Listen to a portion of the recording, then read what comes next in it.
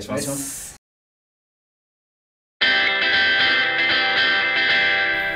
待ち合わせはいつも駅前通りを一本入った細道にしよう。すぐに誰だかわかるようにどんな格好でもいいように。切りすぎた前髪は。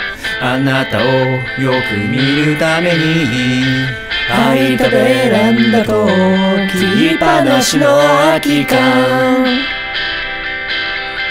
部屋で吸わない約束を守っているだけでもうあなたは愛おしい。いつの間にか映ってしまった君の口癖起こさないようにかけてくれた毛布に心温まる朝。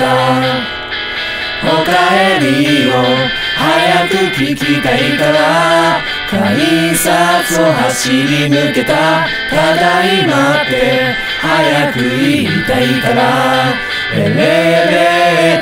ター待てなかった。運命なんて言葉。本当はいらない。その正体はただの偶然。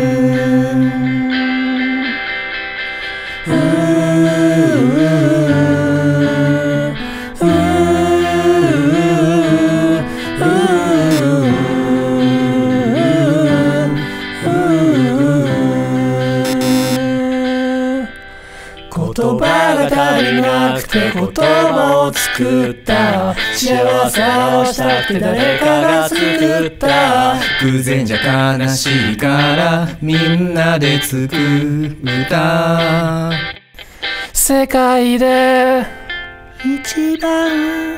無意味な言葉。夢の中では触れられるのに。現実の君は遠いな君の隣に居続けることは当たり前のことじゃないんだと大人になって気づいたんだ。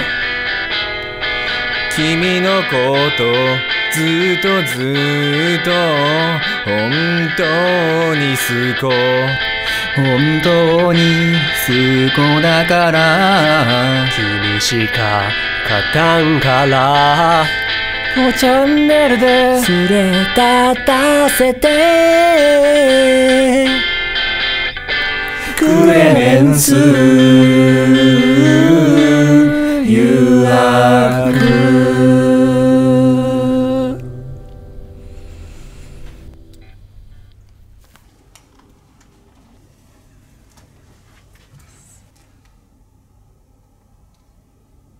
とうございます。